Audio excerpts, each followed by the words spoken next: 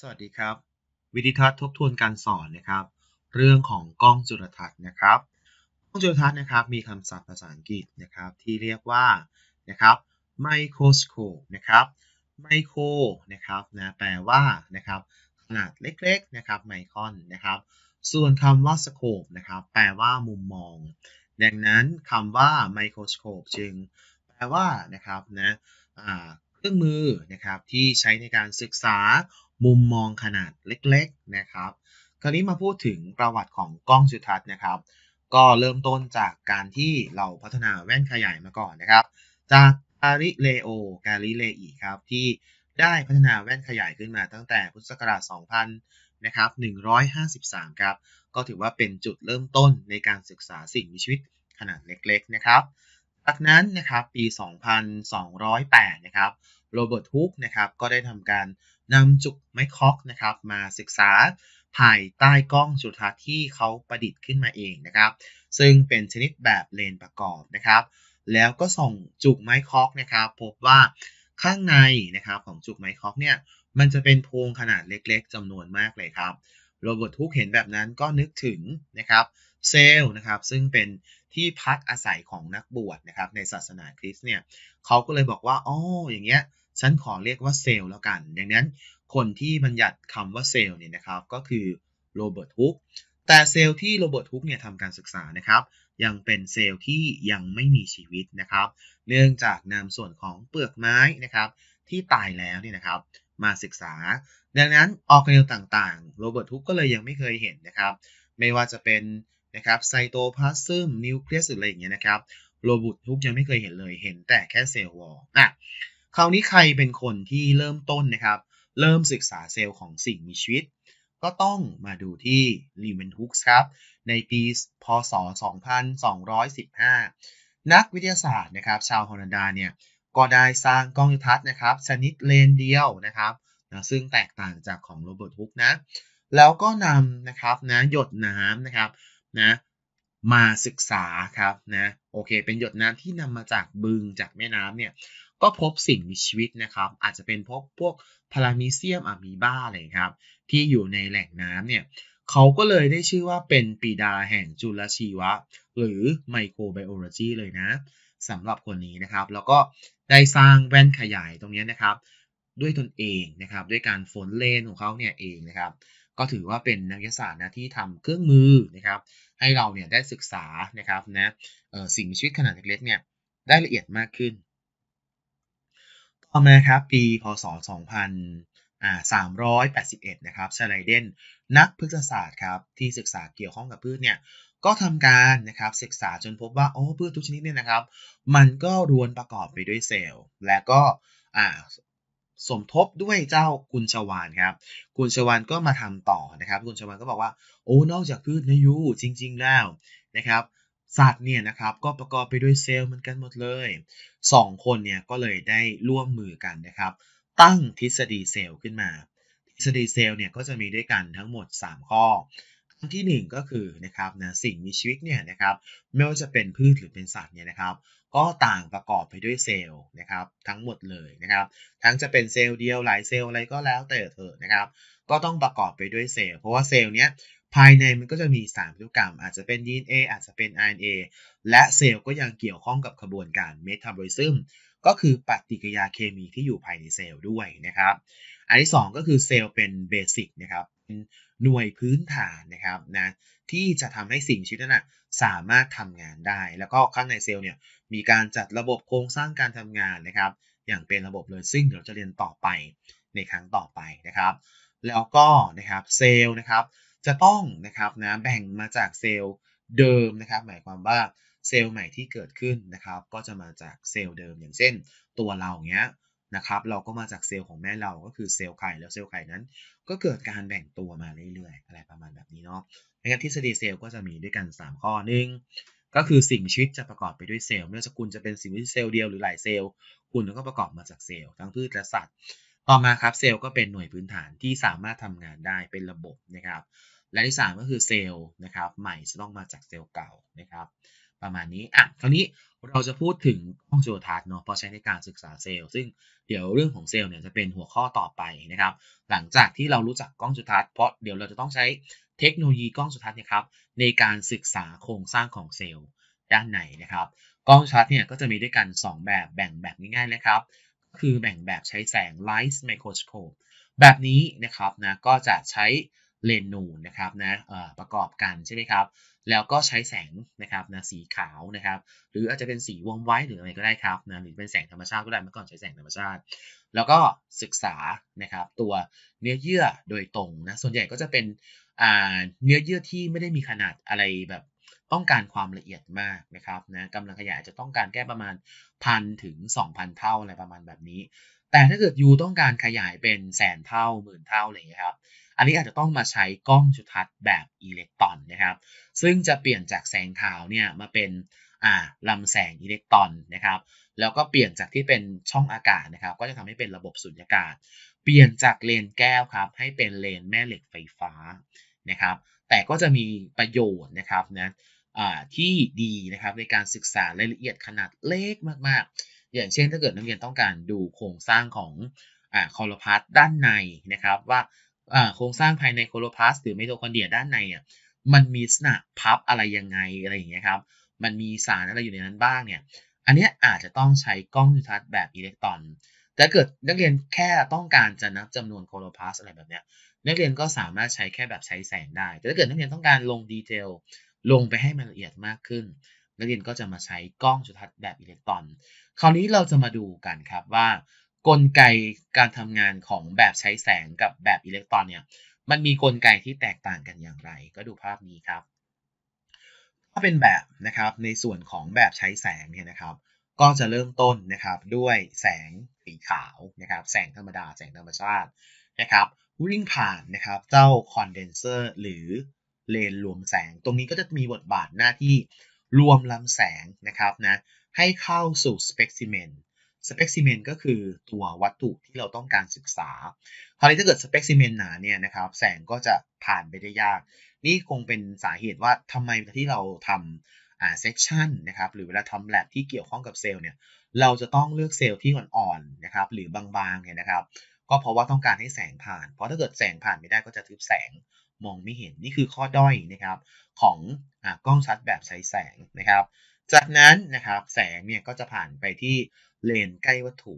เลนใกล้วัตถุก็จะทำหน้าที่รวมนะครับนะรวมโอเคแสงที่ผ่านสเปกซิเมนมา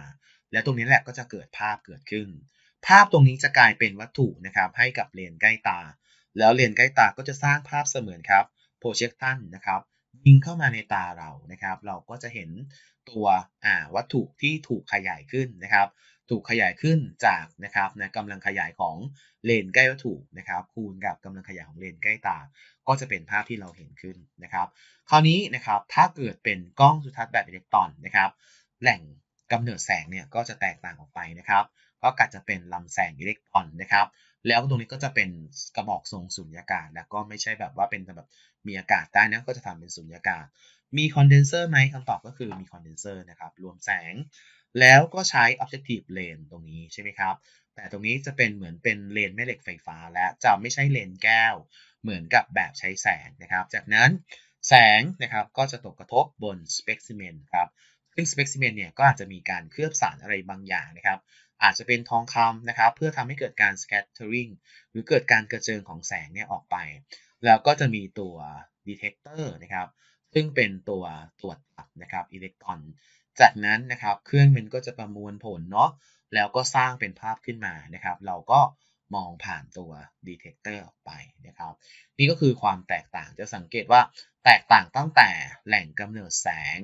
แตกต่างกันที่ในเรื่องของชนิดของเลนส์นะครับเนาะแล้วก็สุดท้ายก็ยังแตกต่างในการที่จะดูภาพเนาะลักษณะถ้าเกิดเป็นแบบหนึ่งเนี่ยนะครับ อันนี้เป็นภาพที่ มาจากแสงธรรมชาติโดยตรงเลย แต่ตรงนี้เหมือนมีการประมวลผลผ่านตัวตรวจจับ detector เนาะจับสัญญาณ แล้วก็เหมือนเป็น analyze สร้างภาพอะไรขึ้นมานะครับ ให้เราเห็นนะครับอะโอเคตัวนี้ครับเป็นภาพของพอลเลนนะครับพอลเลนเกนก็คือละอองเรนูนั่นเองนะครับ ภายใต้กล้องจุลทรรศน์อิเล็กตรอนนะสองแบบก็คือ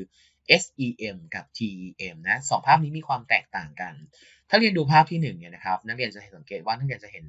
surface นะครับหรือพื้นผิวเนี่ยนะครับนะมากนะครับนะส่วนอีกภาพหนึ่งจะเห็นลักษณะเป็นโครงสร้างที่อยู่ภายใน เพราะนั้นกล้องทัศนตอนเนี่ยนะครับมันก็ออกแบบมาสำหรับใช้ศึกษาพื้นผิวด้านนอก แล้วก็ศึกษาโครงสร้างหรือ structure เนี่ยด้านในนะครับ โดยไม่ต้องผ่าเลยนะเออถ้าเกิดใช้แบบใช้แสงเนี่ยนักเรียนจะต้องผ่าชิ้นส่วน นะครับแล้วค่อยส่องใช่ไหมครับ แต่ถ้าเกิดนักเรียนใช้แบบอิเล็กตรอนเนี่ยนะครับ มันสามารถทะลุทะลวงได้เลยนะครับ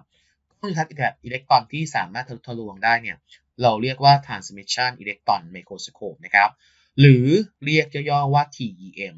ตรงนี้มันจะให้ลำแสงอิเล็กตรอนเนี่ยผ่านลงไปที่ specimen หรือตัวอย่างครับ แล้วก็ generate นะครับทำให้เกิดภาพแบบ cross section ขึ้นมาครับ นี่ก็คือสิ่งที่เห็นเนาะ เหมือนเข้าเครื่อง CT สแกนเลยอารมณ์ลักษณะแบบนั้นน่ะสแกนคอมพิวเตอร์ แล้วก็เห็นข้างในเป็นแบบเนี้ยเห็นไหม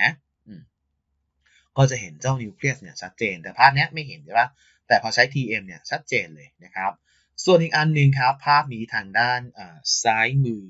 นะครับของนักเรียนนะครับเวลานั่งอยู่หน้าจอซ้ายมือของนักเรียนเนี่ยภาพนี้นะครับเป็นภาพของพอลเลนที่ดูพื้นผิวด้านนอกนะครับ ตรงนี้นะครับจะใช้กล้องแบบ scanning electron microscope หรือ SEM นะครับก็คือลำแสงเนี่ย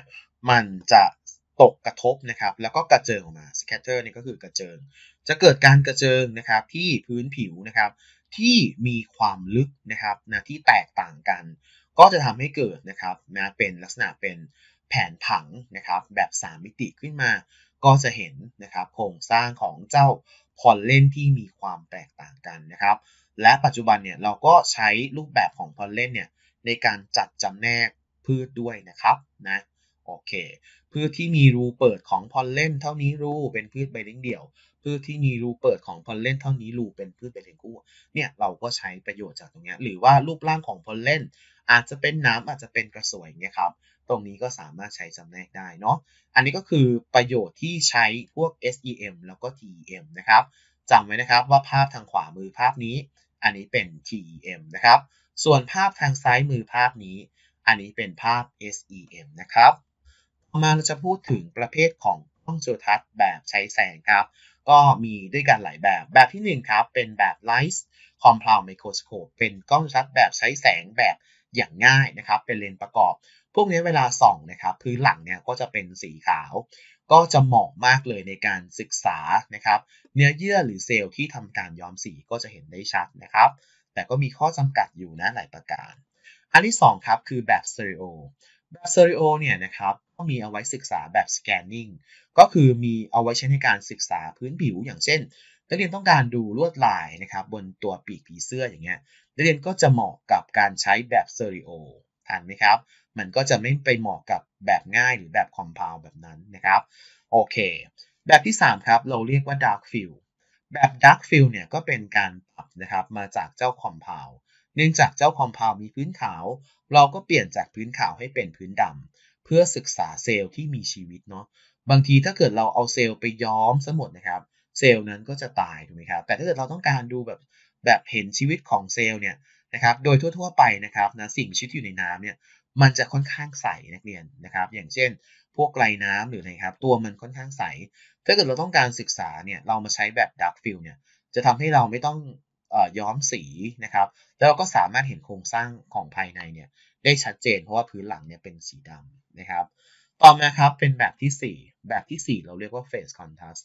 phase contrast นะครับเป็นกล้องจุลทรรศน์ที่ปรับนะครับจาก compound microscope นะครับหรือแบบเรียนประกอบอย่างง่ายเนี่ยนะครับให้นะครับนะมี phase contrast มากขึ้น คือทำให้ภาพมันคมขึ้น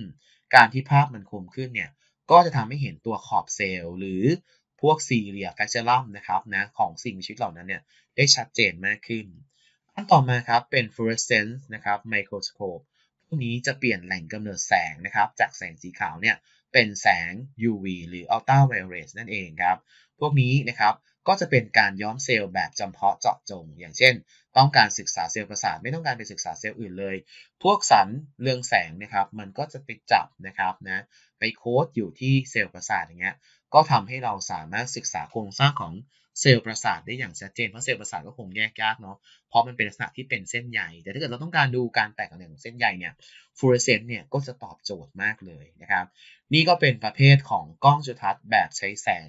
ทั้งหมด 5 ประเภทนะครับอะก็อันนี้ให้ดูครับนะ อย่างเช่น อันนี้เป็นแบบเซอริโอนะ อย่างเช่นถ้าเกิดเราต้องการดูลายบนผีเสื้อกลางคืนแบบเนี้ย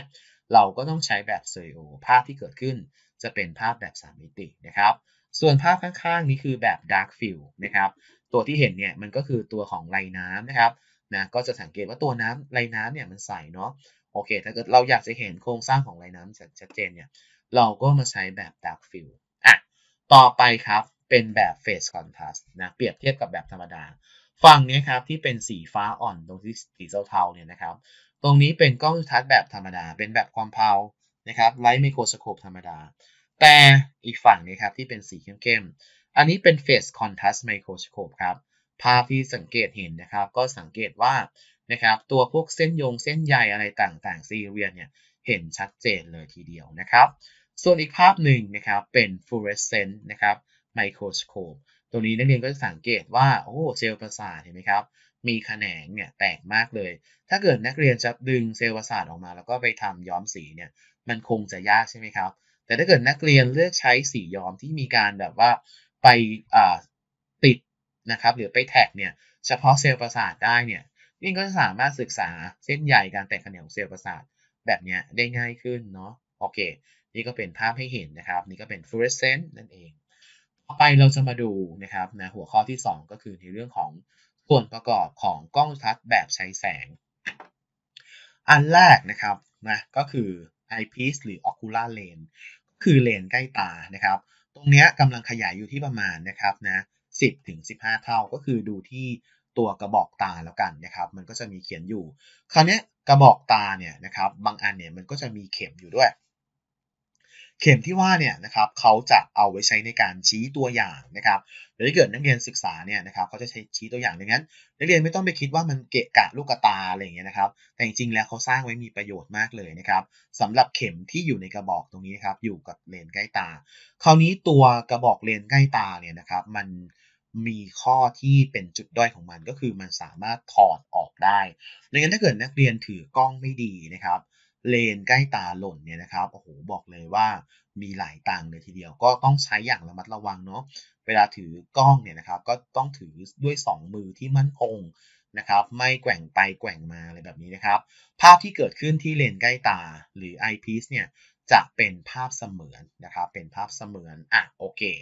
ถัดมาครับคราวนี้คนเราก็จะสายตาไม่เท่ากันใช่ไหมเออบางคนเนี่ยก็สายตาสั้นข้างหนึ่งข้างหนึ่งสายตาปกติ มีปุ่มที่สามารถปรับได้ครับ เราเรียกว่า diopter adjustment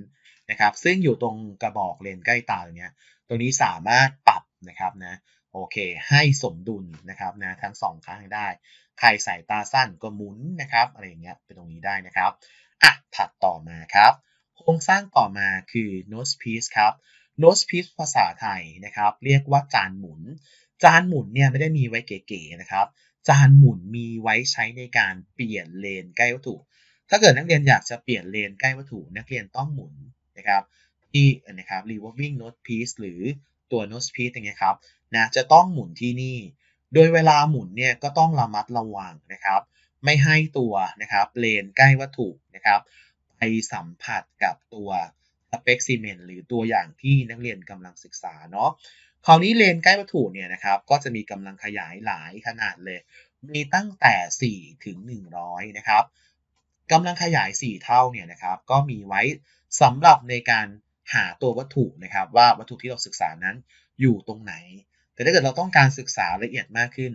เราก็ค่อยเปลี่ยนกำลังขยายให้สูงขึ้นสูงขึ้นเรื่อยๆ โดยครับต้องบอกไว้ก่อนว่า นักเรียนจะต้องระวังนะครับกำลังขยาย 100 เท่า กำลังขยาย 100 เท่าเนี่ยระยะโฟกัสเนี่ยน้อยมากเลยครับ แทบจะติดกับตัวสเปกซิเมนดังนั้นกำลังขยาย 100 เท่าเนี่ยจริง ๆ แล้วเนี่ยเขาจะไม่ได้ใช้ในแลบปกตินะครับ แต่เขาจะใช้ในแลบแบคทีเรียนะครับ แล้วพวกแบคทีเรียเนี่ยเวลาที่เขาย้อมเนี่ยนักเรียนเขาจะไม่ปิดกระจกปิดสไลด์เลย แล้วเขาก็จะมีการหยดน้ำมันเนี่ยลงไปด้วยบนตัวอย่างนะครับ เพื่อทำให้เกิดนะครับการหักเหของแสงที่ดีขึ้น เพราะว่ายิ่งระยะโฟกัสสั้นมากๆเนี่ยนะครับ แสงมันมีโอกาสที่จะกระเจิงออกนะครับ ไม่เข้ามาในลำกล้องเนี่ยสูงมาก จึงต้องมีการหยดน้ำมันเพื่อบังคับเนี่ยให้แสงเนี่ยมันหักเหนะครับ เข้าไปในตัวของลำกล้อง ภาพที่เกิดขึ้นนะครับนะจากเลนใกล้วัตถุเนี่ยจะเป็นภาพจริงนะครับ ย้ำก่อนนะครับว่าภาพมันจะเกิดขึ้นครั้งแรกเนี่ยที่เลนใกล้วัตถุเหล่านี้ แล้วก็จะเกิดภาพครั้งที่2นะครับที่เลนใกล้ตา ภาพครั้งแรกนั้นเป็นภาพจริงนะครับ ภาพจริงคือภาพที่ฉากรับได้ ภาพนี้จะถูกเปลี่ยนเป็นวัตถุอีกครั้งหนึ่งแล้วก็ทำให้เกิดภาพเสมือนที่ตัวเลนใกล้ตานะครับ ตรงนี้คือเลนใกล้วัตถุต้องย้ำนะครับในเรื่องของหัว 100 หรือเลนที่กำลังขยาย 100 เนี่ยจะต้องระวังไม่ให้โดนน้ำนะครับ หรือถ้าเกิดเราใช้หัวน้ำมันอย่างเงี้ยหยดน้ำมันอะไรเรียบร้อยแล้วเนี่ยพอใช้เสร็จยังไงก็ต้องเช็ดเอาน้ำมัน ที่เราใส่เนี่ยออกไปด้วยนะครับ น้ำมันมีประโยชน์ยังไง ก็คือช่วยในให้ลำแสงเนี่ยหักเหเข้าสู่ลำกล้องนะครับโครงสร้างต่อมานะครับก็คือในส่วนของ state นะครับนะ state state เนี่ยนะครับก็จะมีปุ่มที่ให้หมุนครับปุ่มสามารถหมุนซ้ายขวาหน้าหลังได้ โดยถ้าเกิดเราหมุนไปทางซ้ายนะครับนะตัวภาพที่เกิดขึ้นมันก็จะเลื่อนไปทางขวา นะครับอะไรประมาณแบบนี้เดี๋ยวต้องไปลองหมุนดูนะครับนะสำหรับตัว state นะครับซึ่งมีตัว slide holder ก็คือที่หนีบสไลด์แล้วก็จะมีปุ่มหมุนอยู่ด้วยนะครับนะโอเค ต่อมาครับคือ arm นะครับ arm ก็คือแขนใช้ในการจับที่เราย้ายนะครับ ตัวกล้องจุลทรรศน์ไปที่ต่างๆ แล้วก็จะจับที่อาร์มกับที่ฐานด้านล่างประมาณนี้นะครับ โอเคนะอาร์มใช้ เวลายกกล้องนะครับนี้วิธีการเปลี่ยนเลนส์แก้วถูกก็ดูนะครับ ต้องหมุนที่นะครับนะ nose piece ตรงนี้เห็นไหมครับ หมุนที่จานหมุนนะครับ ไม่ไปจับที่ตัวเลนเด็ดขาดนะครับ เพราะว่ามีโอกาสที่จะทำให้เลนใกล้วัตถุนั้น หลุดออกมาจากจานหมุน แล้วหล่นลงพื้นแตก บอกเลยว่ามีหลักหมื่นนะครับนะในบางเลนที่มีราคาสูงสูงเช่นเลนหัว 100 เลนแบบนี้เพราะนั้นเวลาหมุนนะครับ จะต้องหมุนที่จานหมุนและเวลาหมุนนะครับ จะต้องดูด้วยอย่าให้ตัวเลนแก้วถูนั้น ไปสัมผัสกับตัวอย่างหรือสเปกซิเมนนะครับที่มีเปียกน้ำอะไรเงี้ยห้ามเลยเด็ดขาดนะครับ ต้องระวังนะครับ ต่อมานี่คือวิธีการนำสไลด์เข้าและสไลด์ออก ทุกครั้งที่นักเรียนจะนำสไลด์เข้าและสไลด์ออกนั้น นักเรียนจะต้องเลื่อนสเตจเนี่ยให้ต่ำลงก่อนนะครับ อย่างน้อยประมาณเท่านี้นะครับ1ส่วน4ตรงนี้ พื่อเอาออกนะครับ อย่าดึงนะครับ แบบตอนที่ตัวสไลด์นั้นอยู่สัมผัสติดกับตัวเลนใกล้วัตถุเลย เพราะว่ามีโอกาสที่จะทำให้ตัวเลนใกล้วัตถุนั้นถูกนะครับนะทำลายหรือเสียหายลงได้ เพราะฉะนั้นเวลาที่จะเปลี่ยนสไลด์เนี่ยก็ต้องปรับนะครับเจ้า mechanical stage นะครับ ซึ่งเวลาปรับอย่างเงี้ยปรับที่ไหน ปรับที่ปุ่มปรับภาพหยาบ ปุ่มปรับภาพหยาบเนี่ยมันเป็นปุ่มปรับโฟกัส ดังนั้น มันสามารถทำให้ stage เนี่ยเลื่อนขึ้นเลื่อนลงได้ดังนั้นเวลาหมุนเนี่ยนักเรียนก็มาหมุนที่ปุ่มใหญ่นี้เลย ให้นะครับเจ้า stage เนี่ยลงนะครับแล้วค่อยนำสไลด์เข้าหรือนำสไลด์ออก นี่คือสิ่งที่ครูต้องย้ำเตือนในการใช้กล้อง เดี๋ยวจะมีสอบใช้กล้องด้วยนะ ต่อไปนี่คือ mechanical state นะครับที่ state เนี่ยมันก็จะมีปุ่มนะปุ่มตรงเนี้ยสามารถปุ่มหนึ่งเนี่ยมันสามารถเลื่อนไปซ้ายขวาได้ อีกปุ่มหนึ่งมันสามารถเลื่อนเข้าไปข้างหน้า หรือถอยหลังออกมาได้ อันนี้ก็ไปลองดูนะครับว่าตอนนักเรียนเลื่อนไปทางซ้ายภาพที่เห็นเนี่ยเลื่อนไปทางไหน หรือหมุนไปข้างหน้า ภาพมันเป็นยังไง มันตามข้างหน้าไหมหรือมันถอยหลัง อันนี้เดี๋ยวไปลองในห้องแลบนะครับ อันนี้ก็คือ medical state ครับ ซึ่งเป็นปุ่มหมุนนะครับสำหรับใช้ในการหาวัตถุว่าวัตถุมันอยู่ตรงไหนนะในกระจกตรงนี้ใช่ไหมโอเคนะครับอะส่วนนี้เป็น หัวข้อที่บอกว่าทำไมเราต้องหยดน้ำมันนะครับ เส้นสีแดงเนี่ยคือฝั่งที่ no oil ก็คือไม่ได้หยดน้ำมัน ส่วนฝั่งสีฟ้าก็คือฝั่งที่หยดน้ำมัน สังเกตไหมครับว่า ถ้าเป็นฝั่งสีแดงเนี่ยนะครับ มันเกิดการรีเฟกซ์นะครับ หักเหนะครับ ออกไปด้านนอก แต่ตรงนี้นะครับ เมื่อมีน้ำมันเนี่ยนะครับ มันทำให้ลำแสงนั้นหักเข้าสู่ตัวลำกล้อง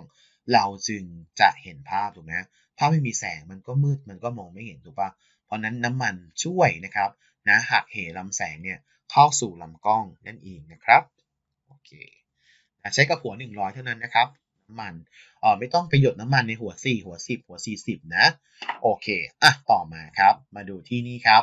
อะปุ่มปรับภาพหยาบนะครับปุ่มปรับภาพหยาบมีบทบาทยังไง มันก็จะเลื่อน stage เนี่ยให้เคลื่อนที่ขึ้นหรือลงนะครับ แบบเร็วเลยเพื่อปรับหาระยะโฟกัส ส่วนปุ่มเล็กๆเนี่ยนะครับมันก็คือปุ่มปรับภาพละเอียดครับทำให้ stage เนี่ยเคลื่อนที่ช้านะครับอย่างช้าๆขึ้นลงอย่างช้าๆดังนั้นเวลาเราหาระยะโฟกัสเนี่ยนะครับส่วนใหญ่เราก็จะใช้ปุ่มปรับภาพหยาบก่อน พอเริ่มเห็นภาพเราก็จะหมุนปุ่มปรับภาพละเอียดนะเพราะฉะนั้นอันนี้ให้รู้นะครับว่า 2 ปุ่มนี้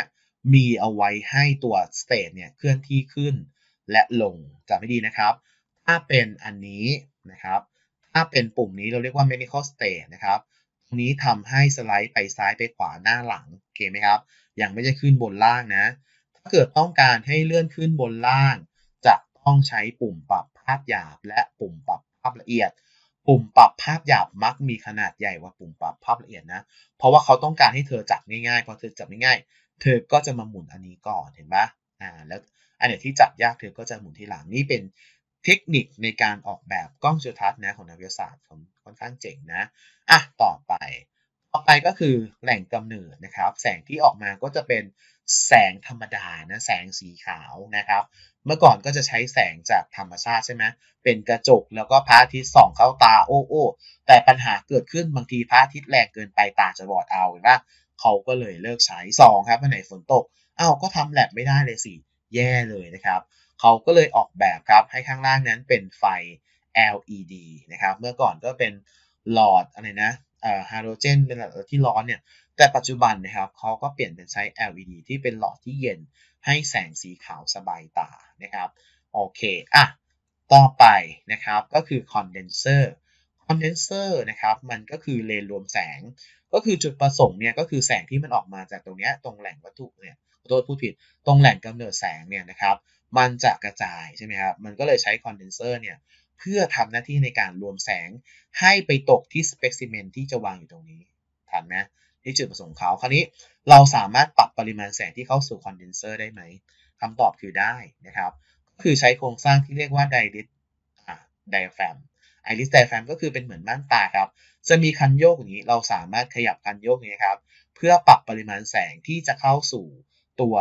นะครับวัตถุได้นะครับอะต่อไปข้างล่างก็นะครับคือแหล่งกำเนิดแสงนะครับและสุดท้ายก็คือฐานนะครับ ที่สำหรับใช้ในการเอามือลองนะครับ ในขณะที่เราทำการเคลื่อนย้ายตัวกล้องจุลทรรศน์นั่นเองครับ ส่วนนี้ก็เป็นวิธีการใช้ปุ่มปรับภาพนะครับ เราก็นะครับนะใช้เลน กำลังขยาย 4 ก่อนนะครับ จากนั้นก็ใช้ปุ่มปรับภาพหยาบ เมื่อเริ่มเห็นภาพแล้ว จึงใช้ปุ่มปรับภาพละเอียด คราวนี้เดี๋ยวจะต้องสอบนะครับในห้องเรียนว่า นักเรียนจะสามารถขอโทษ นักเรียนสามารถหาระยะโฟกัสนะครับที่ทำให้เกิดภาพได้หรือเปล่า ถ้าเกิดนักเรียนหาระยะโฟกัสที่ทำให้เกิดภาพได้ แสดงว่านักเรียนก็มีความสามารถในการใช้กล้องทัศน์แบบเบื้องต้นแล้วในระดับหนึ่งนะครับ เพราะปัญหาที่ผ่านมาเนี่ยครูสังเกตนะครับว่านักเรียนหลายคนนะครับเวลาไปสอบแข่งขันข้างนอก ไม่สามารถปรับกล้องจุลทรรศน์แล้วหาภาพเจอ ดังนั้นตอนนี้นะครับเป็นโอกาสอันดีแล้ว ที่เรียนจะได้เรียนรู้กล้องจุลทรรศน์นะครับ เราก็จะมาฝึกนะครับให้เรียนหานะครับระยะโฟกัสนะครับนะแล้วก็ใช้กล้องจุลทรรศน์แบบอ่า expert ได้นะครับ ประมาณแบบนั้นอะโอเคครับ สุดท้ายครับคือเรื่องของการคำนวณนะครับ ในเรื่องของขนาดและก็กำลังขยายต้องบอกก่อนว่ากำลังขยายของภาพนะครับ หรือของกล้องเนี่ย มาจากกำลังขยายของเลนใกล้ตาคูณกับกำลังขยายของเลนใกล้วัตถุนะครับ หรือนะครับนักเรียนอาจจะหามาจากขนาดของภาพ หารด้วยขนาดของวัตถุก็ได้ ก็จะเป็นวิธีการหากำลังขยายอะแล้วกำลังขยายแต่ละอันนะครับ มันมีจุดประสงค์เพื่ออะไร ถ้าเป็นกำลังขยายแบบนะครับแบบ 40 เท่าเนี่ยก็คือเลนใกล้วัตถุ 4 เลนใกล้ตา 4 เนี่ย มันมีเอาไว้สแกนนิ่งก็คือมีเอาไว้หาวัตถุครับว่าวัตถุที่เราต้องการศึกษาเนี่ยมันมีอยู่ในสไลด์ที่เราเตรียมหรือเปล่านะครับ เราก็ใช้อันนี้ก่อนนะครับ ก็คือใช้หัว4นะครับ ต่อมาถ้าเกิดนักเรียนเปลี่ยนไปใช้กำลังขยายหัวสิหัว 10 ใช่ไหมครับ ที่เลนใกล้วัตถุ แล้วก็หัว 10 ที่เลนใกล้ตาคูณกันก็เป็น 100 เท่า ตรงนี้ก็จะเป็นการหารายละเอียดแล้ว แต่เป็นลักษณะที่เป็น low power คราวนี้ถ้าเกิดเราต้องการศึกษาละเอียดมากขึ้นนะครับ เราก็ใช้แบบ high die power คำว่าไฮไดก็คือสูงนะ เป็นกำลังขยายสูง แต่แบบไดก็คือไม่เติมน้ำมัน ไม่ต้องหยอดน้ำมัน ตรงนี้ก็เหมาะแล้วครับสำหรับการศึกษาเนื้อเยื่อพืชเนื้อเยื่อสัตว์แค่นี้พอนะครับ ก็คืออยู่ที่ 400 เท่า แต่ถ้าเกิดนักเรียนต้องการศึกษาแบคทีเรียนะครับย้ำนะแบคทีเรียเชื้อราอะไรอย่างนี้ครับนี่มาใช้ตรงนี้ได้ก็คือหัว 100 ส่วนใหญ่เป็นแบคทีเรียนะวันหลังจะสอนย้อนแกมด้วยถ้ามีโอกาสนะครับ เราก็จะใช้หัวนะครับนะ100นะครับสำหรับเดนแก้วถูกและใกล้ตาย10คูณกันก็เป็น 1,000 เท่าสำหรับใช้ในการศึกษาพวกแบคทีเรีย ถ้ามีโอกาสเราคงจะได้ไปทำการย้อมแบคทีเรียเนาะแต่ว่าแบคทีเรียเนี่ยอาจจะอันตรายสำหรับเด็กมต้นนะครับเพราะนั้นเดี๋ยวคุณครูอาจจะมีตัวอย่างนะครับ ตัวเชื้อแบคทีเรียที่เป็นสไลด์สำเร็จรูปเนี่ยให้นักเรียนดูในชั้นเรียนสำหรับวันนี้นะครับในเรื่องของเนื้อหาของกล้องจุลทรรศน์เนี่ย ก็คงจะมีแต่เพียงเท่านี้ เดี๋ยวเราเจอกันอีกทีนะครับในปฏิบัติการนะครับ โอเคสำหรับวันนี้นะครับ จบแต่เพียงเท่านี้ สวัสดีครับ